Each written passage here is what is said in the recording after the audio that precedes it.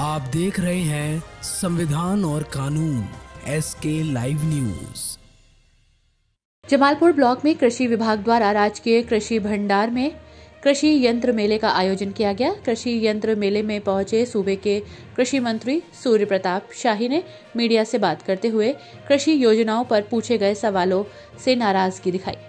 कृषि मंत्री ने कहा कि कोलकाता में अखिलेश क्या बोलते हैं? आप लोग यही दिखाते हो।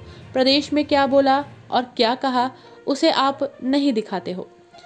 बेमौसम हुई अतिवृष्टि और ओला बढ़ाने से किसानों की फ़सलों के नुकसान को लेकर कहा है। साथ ही उन्होंने बेमौसम हुई ओलावृष्टि और बारिश को लेकर कहा कि चार जिलों में ओलावृष्टि से फ़सलों को नुकसान पहुँचा है।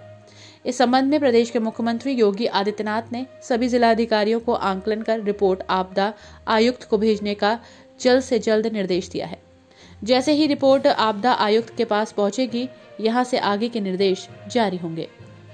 मिर्जापुर से मनीष रावत की रिपोर्ट।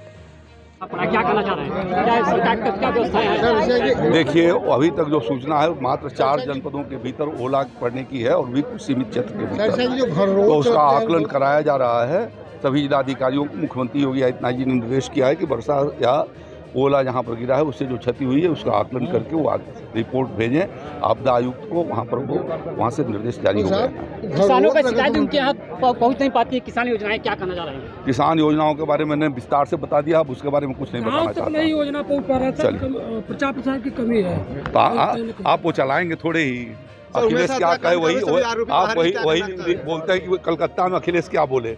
उत्तर प्रदेश में क्या बोला जा रहा है वो चलाते ही नहीं है। आप तो कहाँ से किसान जानेगा उसको? आप चलाइए तो जो मैं बोला हूँ जो मैं बोला हूँ उसको चलाइए। उमेश सत्यापाल का भी सब चलिए धन्यवाद। खबरों के लेटेस्ट अपडेट के लिए इसी तरह हमारे साथ जुड़े रहें और इस वीडियो को ज़्यादा से ज़्यादा शेयर करें।